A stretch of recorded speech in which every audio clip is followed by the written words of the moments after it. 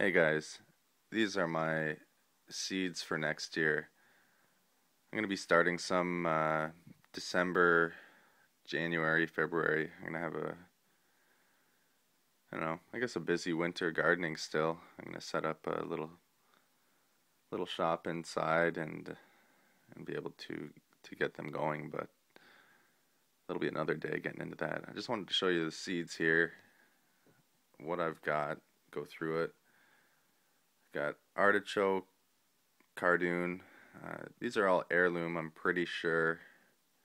Um, like everything I have here. So, um, couple packets of the Rob. I like that. A different type of cabbage. I'm hoping to get seed off my January King. So this this cabbage here will be uh, a welcome addition couple packets of carrots. I probably got know, 12,000 seeds by the looks of it. A bunch of lettuce. Look at that, 20,000 seeds. 24,000. A couple thank you packets of flowers. I'll be planting those. Uh, Chioggia beet. Chioggia. A uh, couple different types of squash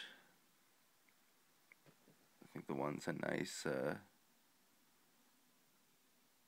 nice type of like pumpkin type. Excited for those. My pumpkins this year are doing well. I'll have another garden update with that.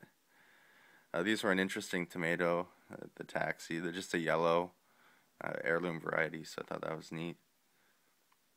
We got watermelons romaine lettuce, the Titan sunflower, uh, Bortoli, Borlo, jeez, Borlotti uh, beans, dragon tongue beans, snow peas.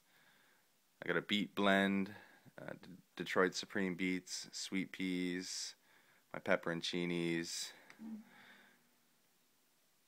Uh, so I've got a bunch of hot peppers up here that I bought. Uh, chile de arbol, Anaheim, Matan are the Nardellos. Red Bull's Horn, the Red Russian Kale. Um, I just, I think that's from this year, but I'm going to save some seed again. Uh, I've got some in the fridge, actually, I should add to the pack. Su Choy, uh, acorn squash, the Kentucky wonder beans, different types of onions. I think it's a red and a white uh, kind of like Italian onions.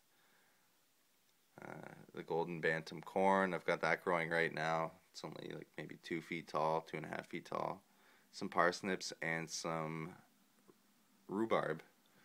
Also got uh, thyme, oregano, and a basil blend. So that's it. Really looking forward to these should be a good year next year. Um, I'm expanding the garden a bunch too, so uh, good things to come.